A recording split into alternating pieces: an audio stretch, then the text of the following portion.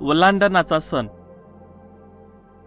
देवाने फारोला सांगितल्याप्रमाणे जर त्याने इस्रायल लोकांना सोडले नाही तर देव मिस्रातील पहिला जन्मलेला माणूस किंवा जनावर यांना मारून टाकेल. जेव्हा हे फारोने ऐकले तेव्हा पण त्याने पहिल्यासारखेच केले की इस्रायल लोकांना जाऊ दिले नाही.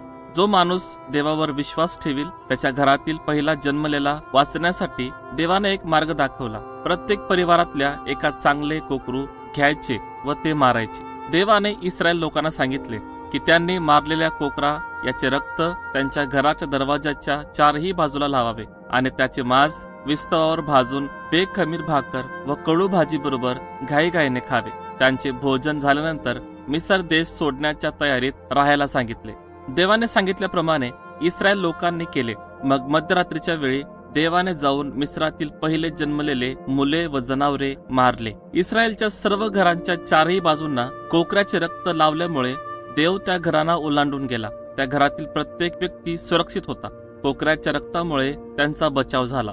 पण मिस्रातील लोकांनी देवावर विश्वास ठेवला नाही व त्याच्या आज्ञा पाळल्या नाही. म्हणून देवाने त्यांचे घर ओलांडले नाही.